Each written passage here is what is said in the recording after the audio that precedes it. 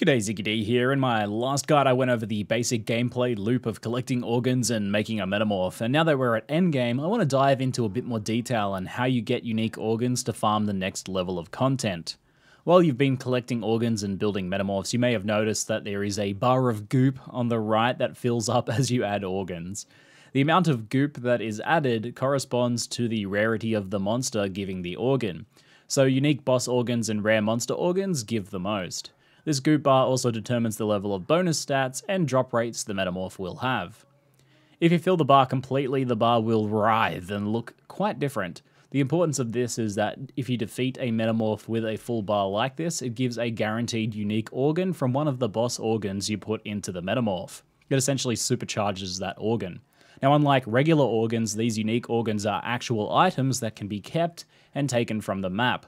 They can even be traded with other players, though be careful googling organ trading lest you get put on a list. These unique organs can have multiple bonus drops on them, which so far seem to roll randomly.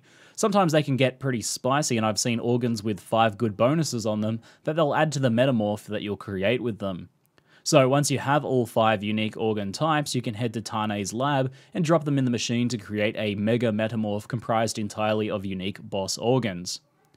The resulting fights so far, as of early endgame at least, have been actually pretty easy compared to map metamorphs due to the lack of rare monster organs stacked with auras and buffs. They can hit pretty hard, but they aren't quite as ridiculous as some of the map combo metamorphs that you can make. They can drop some pretty incredible loot though, as you can effectively stack 5 unique organs with 5 good affixes on each one of them for a ton of drops, including currency, previous league rewards, uniques, linked items, gems, divi cards, and so on so on. Ultimately, the rewards you'll get will be determined by the organs you put in, so I quite like the player agency aspects of this league. So there is a bit of a trick to getting these unique organs reliably. You have to get that full goop bar, and that goop level is determined by rare and unique monster organs. So there's two things you can do to help nearly guarantee unique organs from endgame maps. The first is less effective, but still something to keep in mind. A single unique boss organ plus 4 rare monsters in endgame map seems to always fill the goop bar, so things like extra rare monsters on the map, like from the Nemesis Craft, should help. The far more effective approach, though, is to farm maps that simply have multiple bosses. Two boss organs will pretty much guarantee a full goop bar regardless of your other organs that you put in, and three is certainly going to get you there. So maps like Racecourse that always have three bosses and thus three organs, unless you get a duplicate, like two brains for example, those are very good maps to run, and on, on average you're going to be pretty much nearly always pulling out a unique organ from them. Keep in mind that there's also the map affix that can double the bosses on a map, so that is a very high value map mod to keep an eye out for this league. So the strategy for min-maxing this follows logically that you max out your goop bar whenever possible, running multiple boss maps and using rare monsters wherever possible.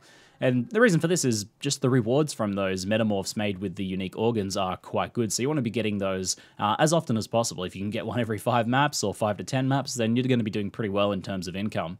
If you cannot fill that goop bar, however, when you go to make a metamorph, then what you want to do instead is prioritize monsters with the best rewards, even if they happen to be blue or white. So trading out a rare that doesn't have a reward in favor of a blue monster that has like a currency drop reward is going to be a good idea. And alternatively, if you are overfilling your goop bar due to having two or three boss organs available, then you can drop some of the rare monsters that don't have rewards in favor of better reward organs instead, since your goop bar will likely still be full from having so many unique organs in there. Now, some people have rightly pointed out that white and blue monster organs can indeed spawn with good rewards. However, it seems to be much less frequent than rare and unique organs, which makes a lot of sense. It's a bit like that idea of clicking a rock and getting Exalted Orb and then deciding to click every single rock in a map, right?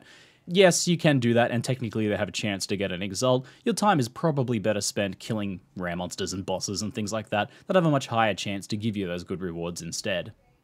So the strategy I mentioned in the last video of not worrying too much about white monster organ drops while clearing has proven pretty sound for me. I typically grab them when they're convenient, and a couple at the start of the map to get a full set of organs. Generally though, rares and bosses with the occasional blue monsters get my metamorph made, and generally with very good rewards, without bothering with the dozen or so extra white organs that drop every map.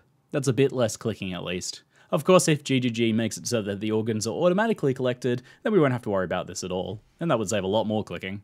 Now, one more thing to mention is that you may have noticed that there is another goop bar in the Metamorph lab. So far, doing around tier 5 maps, I haven't been able to come close to filling this bar. And since they're all unique organs and there's no real like changing around you can do, this goop level is likely determined by monster level, I would guess. I'd hazard a guess that red tier map boss organs can fill this goop bar up. I don't know what the reward for doing so is yet. It could be another boss or another level of organ, or more likely it's something like unique league rewards. But we'll find out more about that mechanic once we start farming up those red map level metamorphs. That's it for now, I'm Ziggy D, and thanks for watching.